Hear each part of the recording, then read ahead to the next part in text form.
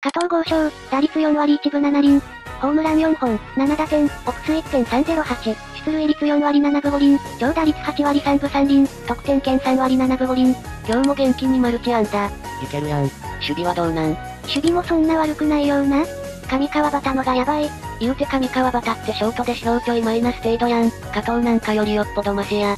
これで二遊間を守れるとか羨ましいしか感想が出ない。メジャーに片足突っ込んでた男やレベルが違え。もしかして若い 3A のトップクラス連れてきたらこのくらいやるんかもな。あまり打撃に弱点がないんよな。あと必死さが WBC ヌートバーレベル。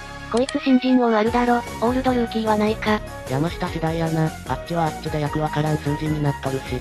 こうして去年晴れてメジャーデビューしてしまったから新人王資格ないのか残念。案の定外角攻めされたけど普通に対応してたね。助っ人にこれぐらいのスペック求めたらあかんか？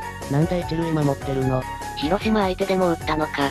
日本のボール飛ぶなぁと思ってそう。日本の投手しょぼって思いながら打っとるんかな。ツーシーム全然投げねえと球遅いなぁは思ってそう。150フォーシームはあっちじゃ簡単に打てる球やし。あの感じでノーステップでスタンド放り込むパワーあるのおかしい。セリーグ打率5割くらいありそう。こっちに連れてこい。 OPS 1割超えてるなら多少守備にも目をつむるわ。あのスイングで長打あるなら落ちることないよ。雨天左打者はノーステップパクって試してみてほしい。マイナー這い上がってきたメジャーリーガーってすげえわ。この活躍で日本がメジャーよりレベル低いって証明されたな。メジャーの新人王はどこのリーグ出身でも取れるのに NPB は純日本産じゃないとあかんのか。助っ人はともかくドラフト入団でも無理とかなんか歪みやな。